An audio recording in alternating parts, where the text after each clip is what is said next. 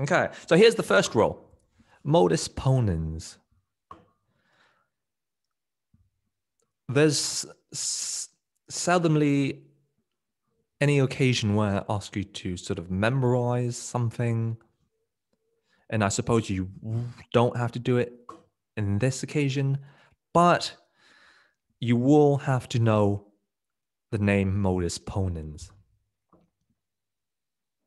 But I don't think you have to memorize this. I think if you just kind of uh, work with it enough, you'll eventually get the name. Now, modus ponens is Latin for something that's slightly longer, modus ponens, which means literally the mode of argument that asserts by asserting.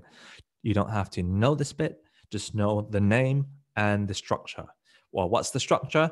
Well, here we have, say, premise one, we have phi entails or phi conditional psi. Premise two, we have, excuse me, we have phi, and then we conclude, therefore, psi. I mean, this makes sense. We do this stuff all the time. If it is raining, then the sidewalk is wet. Then we look outside, we see it's raining. Then we say, oh, well, the sidewalk must be wet. That's the first inferential rule, modus ponens.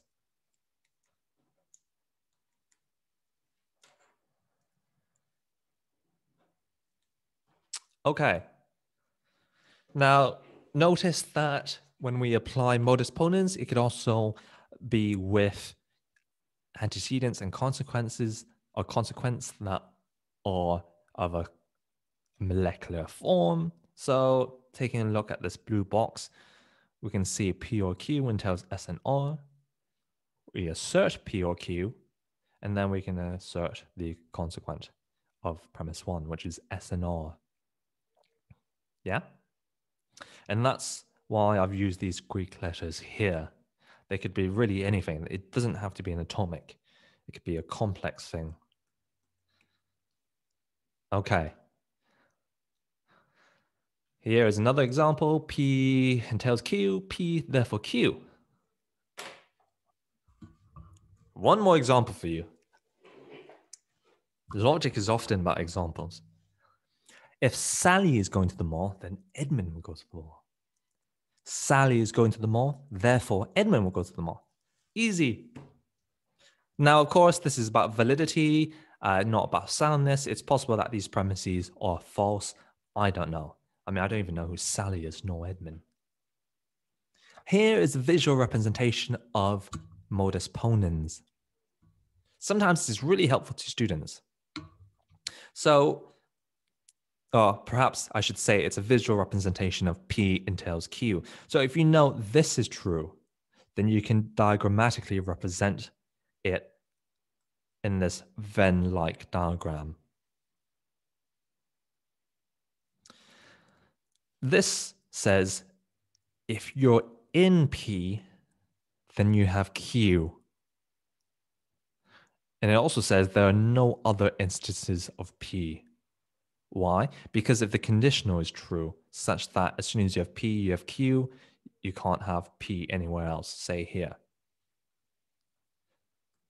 Okay, now let's apply modus ponens. Premise one, P entails Q, which is the diagram. Then you say P. So you assert P, you know, there's a dot that's found here. Well, as soon as you have P, you also know you, you have Q because that dot is also within the circle of Q. Right? Cool.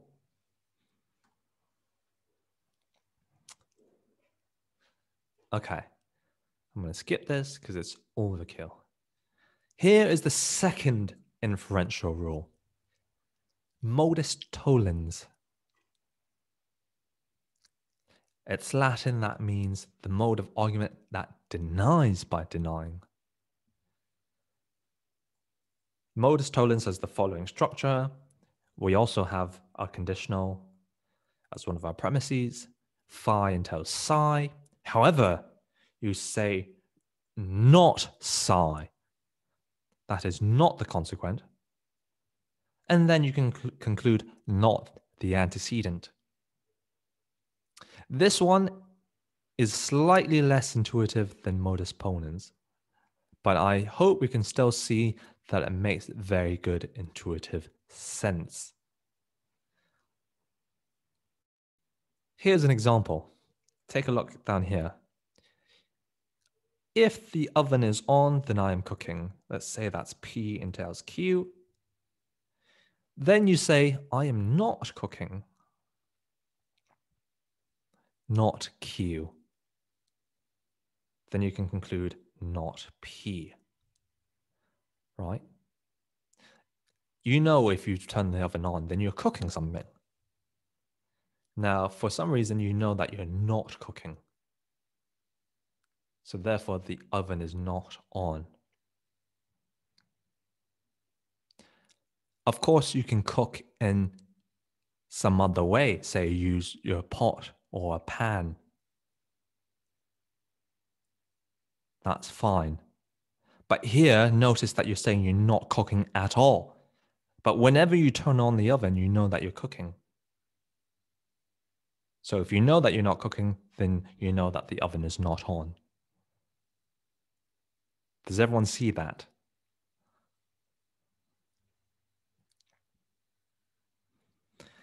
Here's the form again. P entails Q. You say not Q. That is not the consequent. Therefore, not P.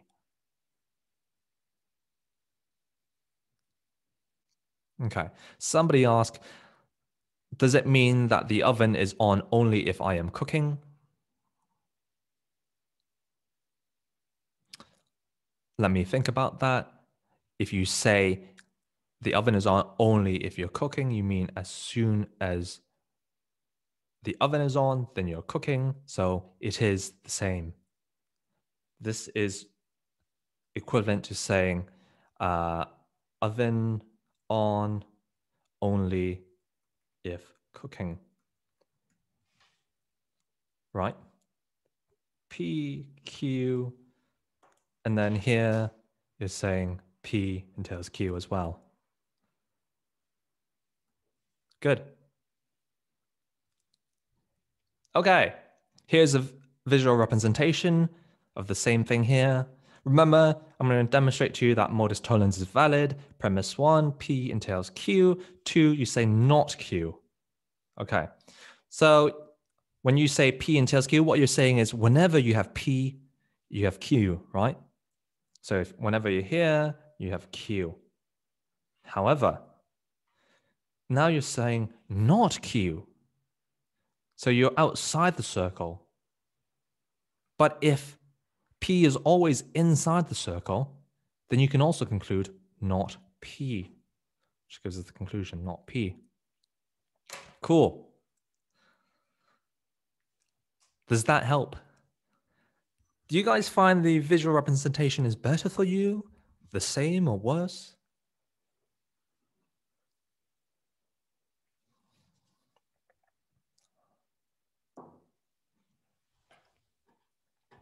Okay. Everyone everyone's minds works differently. I think a lot of people find the visual representation quite good. Um, for me, it doesn't really do anything for me. Okay, so here are some, um, here's another example, okay? Again, logic is often about examples. If Bob goes swimming, then Bob will be wet. Okay, now this seems quite plausible.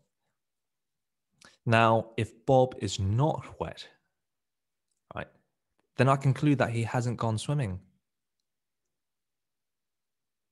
Now, of course, this doesn't say that the only way for Bob to be wet is if he goes swimming. You know, if somebody sprays a hose on him, then he'll be wet.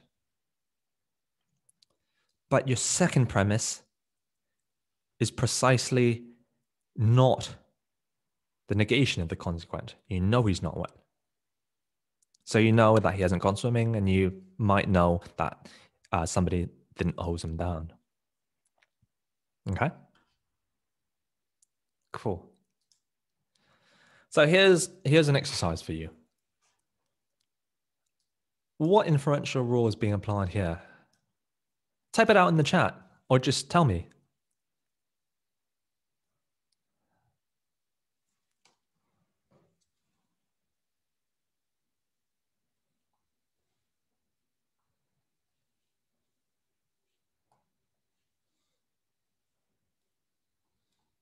Yeah, it's modus tollens, MT. Well done. Okay. What about this one? Exercise E. What inferential rules being applied here?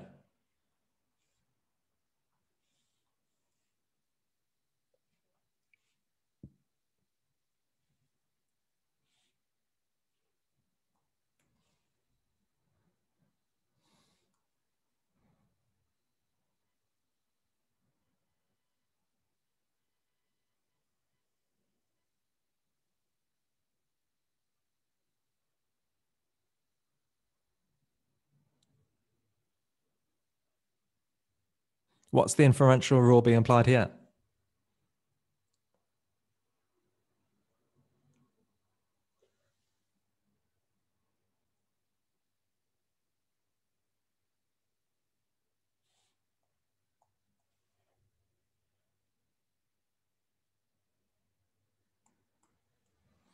It's also modus tollens. So I complicated this a bit and I suppose it really depends on your symbolization scheme. I symbolized here the card will not start as not Q, but you could have really done it Q. And if you'd done it Q, then premise two would be not Q. So then you get the classic canonical form P not Q, therefore not P, which is MT. However, I kind of misled you. I wrote this as not Q, which you might want to symbolize it that way. You know, there's no reason why you can't but then that will make P2 not not Q, which I hope you can see is also just the negation of the consequent. Not not Q is just not Q with an extra not. Okay, so this is also MT. Okay. Here's our last rule. Here's our last rule for today and also for term test one. It's called modus tollendo ponens. MTP. It means the mode of argument that asserts by denying. Okay, it has the following structure phi or psi, not psi. Therefore, phi. Think about this.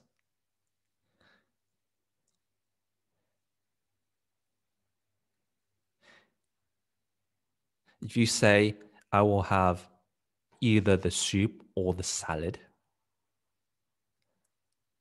and you don't have the soup, then you can infer that you'll have the salad. This is sometimes also called disjunctive syllogism. You don't need to know this name. Okay, but I think in maths they often call it this. Okay. Here is the structure again. You say P or Q, not Q, therefore P. Remember, for the disjunctive, for the disjunction, there's only one way. Sorry, there's only one way in which it is false. That is if both disjuncts are false. But if it's true, then you know that both of them could be true or just one of them is true. However, if you know that one of them is false, then you can't have it the case that both of them is true. And you also know that one of them is false. So that leaves you with only one alternative that the other disjunct is true. Cool. So here's an example. James will travel to Macau by ferry or helicopter, right? I guess you could drive now, but let's just say, you know, you can, let's just say the premise is true, that you can travel to Macau by ferry or helicopter. So he is not traveling by ferry, so not Q. Therefore, he must be traveling by helicopter.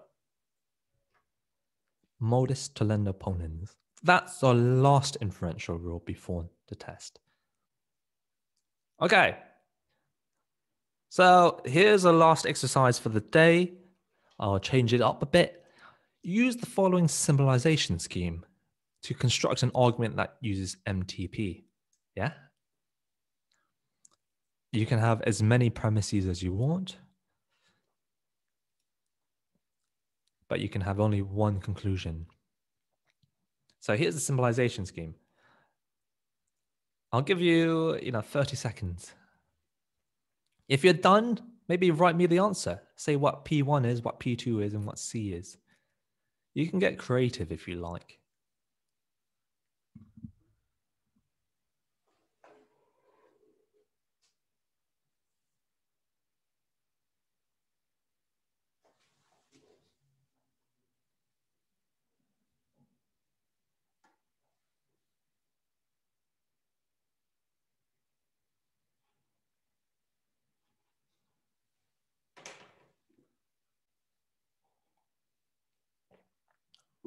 Okay, does anybody have anything for me?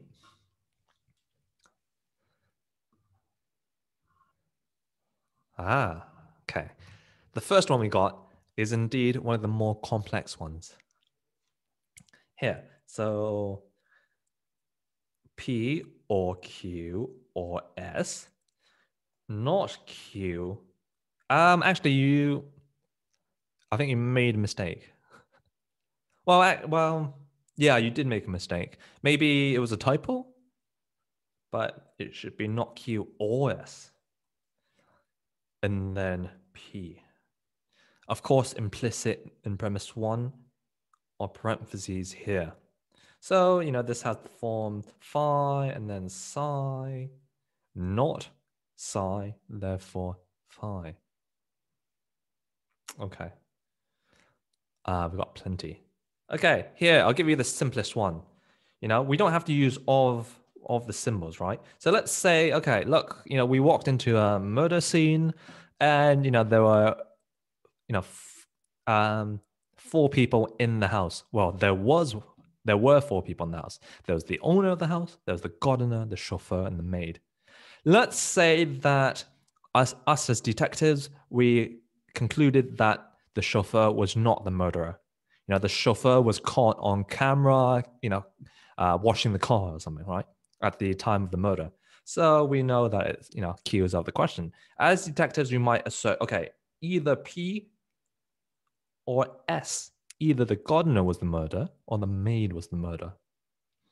Then suppose we get new evidence, right? Um, I don't know. The maid was, uh, you know, had an alibi of some sort. So we say not S. And then we then conclude, okay, well, it must be the gardener. If it's not Q and it's not S, but we also know it must be P or S, then it's P. Modus tollendo ponens. Okay, thanks very much for your time. That was the last inferential rule. Um, next time, we'll cover two formal fallacies and we'll do a bit of review.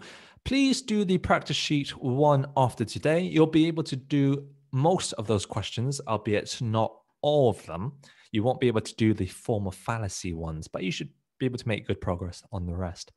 Um, good luck revising. And if you have any questions, feel free to stay behind. Have a good weekend.